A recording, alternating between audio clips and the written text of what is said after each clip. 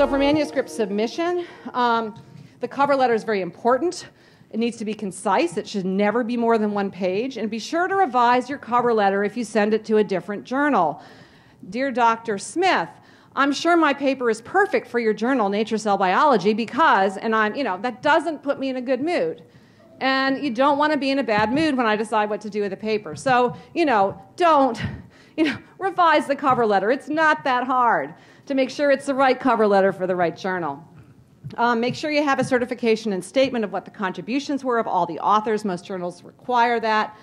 It's important um, if the most software for journals now gives you a place to actually suggest reviewers and gives you a place to um, reject to ask that some reviewers not be used. It's important to suggest to reviewers, especially if you're doing something that pulls together some diverse technologies that maybe your average hematologist or editor for a journal wouldn't actually know a lot about. So if you're doing mathematical modeling or you're doing, um, you know, some kind of very electrophysiology, you know, something that, that is not, you know, kind of standard hematology if you're going to a place like blood, I mean, suggest reviewers that might actually do, to help review with that part of the paper. In terms of excluding reviewers, um, you know, if you exclude more than two, two or three reviewers, you just sound paranoid. And I mean, literally, we get papers where there there be 15 people listed that they don't want their paper to go to, and they've listed every person in the world that's working on the topic because, oh my God, they might be competitors. No, you exclude people that you were recently divorced from. You exclude, you exclude people that you're in a lawsuit with. You exclude people that you really have a direct personal conflict with, or possibly in a very small area that you know that you and they are working on something, you know, competitively, and you know you don't want to leave it to chance that somehow they're not going to do the right thing when they review your paper. But other than that, you know, the fact that somebody might in five years work in the same area is not a reason to exclude that reviewer. And don't suggest reviewers because they used to share a lab with you, or they were your mentor, or they're from the same country as you. I'm really astounded when people suggest reviewers, you know, on platelets when the paper is actually on, I don't know, leukemia. And it's like, why would they suggest? It just makes them look, you know, it just makes you look kind of stupid and, and clueless. And it turns out they're, oh, they were at the same institution. That's why they suggested them. That's not a very, you know, not a very good reason. Um, you know, if you are need unpublished data that you refer to in your paper, like there's a companion, not a companion paper, but a paper that's gone to another journal that's in revision or you know, is accepted but not impressed yet. If the, auth- if the reviewers need to have access to that to understand your paper and you reference it in your paper, then you need to include a preprint or a PDF or something as supplementary information with the paper, because otherwise it's going to delay the process. You know, three weeks later, the reviewer is going to say, "Wait a minute, I, you know, how can I review the paper without access to what they actually did in terms of publishing the method?" And you know then they have to call the editor and then the editor has to call you and it can really delay the process. So you know make that information um, available up front and make sure the GEO link works because there's nothing that pisses off reviewers more is when they're looking at a gene expression study and they can't actually get access to the primary data to see if it you know actually works. Um, so make sure the GEO link works. If the paper is rejected you know, first of all, never, never send the editor an angry email in less than 24 hours. I've gotten I wouldn't exactly call them death threats, but I've certainly had things said to me that, um, you know, that I wouldn't want to meet the person in a dark alley. So wait 24 hours, calm down. You know, it is like your child. I understand when you have a paper rejected, it's like somebody saying your baby, you know, really isn't good enough. Um, but that happens. And look at the rejection, look at the reviewer comments, and decide if it was rejected based on justifiable problems with your paper that even you admit, well, then stop, fix those problems, and go on to another journal.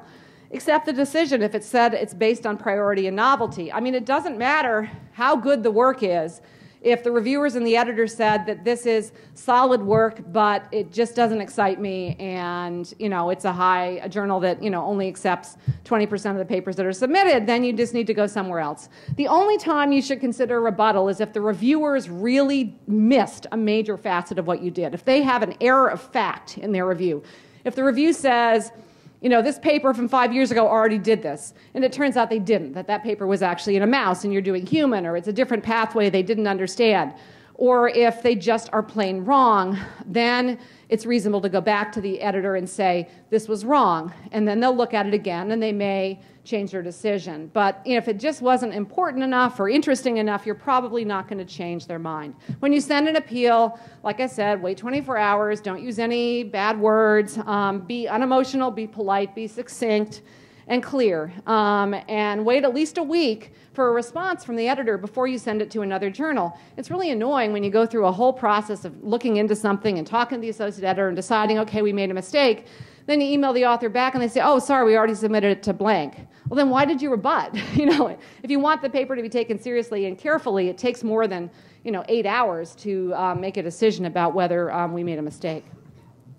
Um, if the revision is invited, you need to respond to the reviewers fully. If there's a major request for a new experiment that are not feasible or you feel strongly are not required, contact the editor for clarification before you go ahead and try to do the experiment or before you send the paper back without doing it. Because if it turns out that the editor and the reviewers disagree and you can't come to consensus on this, then you should send it somewhere else and not waste your time. Otherwise, you need to comply or at least address every comment made by the reviewer, even if it's to say that, you know, well, actually, you know, that prior paper didn't do this and it actually did that. Just go through every point. Don't just skip one because you didn't like it, because then the reviewer is going to be annoyed that you didn't um, address all the comments. And, you know, be succinct and be polite. No 20 page responses to reviewer comments. So the paper's accepted, you're really happy, but that's not the end of the process.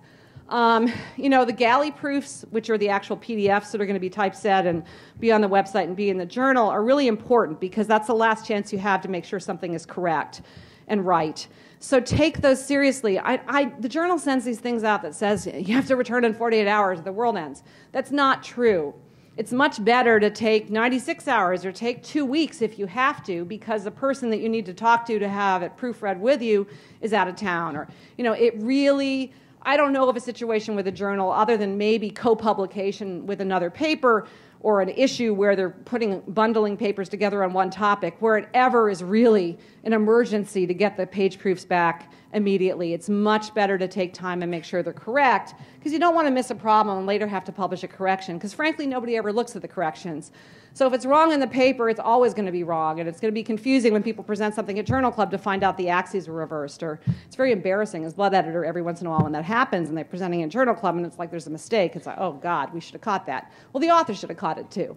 Um, authorship should be negotiated in advance. Um, it's much better now because the software notifies every author at the time of submission that their paper has come in, that a paper has come in with their name on it. So if they were sixth author instead of fifth author, and that really makes a difference to them, they can contact the corresponding author, or they can try to contact the journal. At which point we say, "Go away." You know, if you guys don't know who the authors are and what your authorship list is, we'll send the paper back to you. We will not intervene. That is not our problem. I had people call me at home and on my cell phone, and but I really should have been first author. It's like that may be true, but it's not nothing I can do anything about. So you need to negotiate this in advance. Sharing of publication related materials. I already talked about the uh, you know gene expression profiling and other data sets, but if you've made a new reagent, a monoclonal antibody, a transgenic mouse, you can't say, no, I won't give it out because I'm still doing uh, experiments, and oh, no, I won't give it to you because you're a competitor. You have to finish that stuff that you're really worried about competition with before you get the paper accepted, not, not after. And we get into all kinds of fights about this, and we have sometimes banned authors from publishing in the journal subsequently if they you know, don't go along with what they agreed to in the first place by submitting that they would share uh, reagents. The same goes for disclosing a structure or a sequence of a new compound or drugs. Um, conflict of interest, we focus on disclosure. We want all authors to, um, to have access to the entire set of primary clinical data. We want to avoid undisclosed ghost writers or medical writers. It's fine to use a medical writer, but they have to be disclosed. We have to say who's paid for them. Um, and we, at least at Blood, have had the policy that for review articles and perspectives and how I treats, we do not allow any payment of medical writers or authors by pharmaceutical companies um, because we feel that those are synthetic, subjective pieces that are supposed to be telling you how to decide which of the literature is, is the best for you and your patients, and that shouldn't involve any conflict of interest from pharmaceutical companies. So if you do all this right, this is where you'll be in another uh, 20 years. Okay, thank you all.